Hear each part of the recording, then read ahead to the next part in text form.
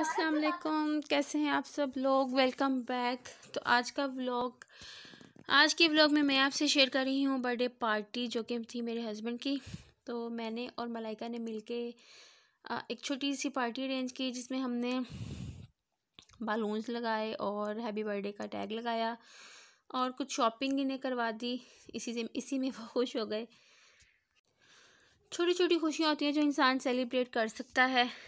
छोटे छोटे छोटी छोटी खुशियों से ही इंसान जो है, वो दूसरों के दिलों में घर भी बना सकता है और अच्छा भी फील करता है।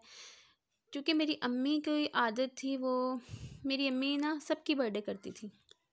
हर एक की बर्थडे को वो सेलिब्रेट करती थी। कम बजट में, कम उसमें सिर्फ़ एक केक होता था और दही भले बना लेती थी घर में और थोड़ा थोड़ा बहुत खाना बना लेती थी। तो बर्थडे बहरहाल वो सब सब बच्चों की वो करती थी।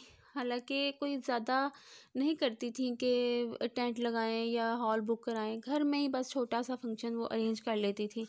छोटी छोटी खुशियाँ जो होती हैं ना, वो इंसान को याद रहती हैं। अब जब वो हमारी ज़िंदगी में मौजूद नहीं है, लेकिन उनकी यादें, उनके किए हुए काम जो हैं, वो हमारे लिए एक सबक है कि वो किस तरह से मैनेज करती थी। इसलिए हमें भी जो है वो खुशियाँ इकट्ठी करनी चाहिए। अब पैसा आनी जानी चीज़ होती है, इंसान थोड़े बहुत बजट में ही अगलों को खुश कर सकता है। तो हम स्टेशन बाज़ार गए थे, वहाँ पे जैकेट्स की काफ़ी अच्छी वैरायटी थी।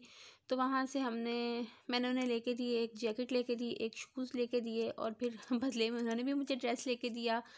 तो बहुत यहाँ से मैंने एक ड्रेस लिया था, वो पैक हो चुका है। जो मैंने लिया था, वो यहाँ पर हैंग नहीं है, वो पैक कर दिया गया था, लेकिन वो सूट एक ही रह गया था। तो वो सूट भी मैं आपसे ज़रूर शेयर करूँगी। और ये हमने डेकोरेशन थोड़ी सी की थी। ये देखिए, ग्यारह बजे हमने डेकोरेशन कर ली थी। बारह बजे जो है वो केक कट किया गया और ग्यारह बजे हम रेडी करके बैठ चुके थे। ये बालून्स एक तरफ़ ज़्यादा लगे, एक तरफ़ कम लग गए।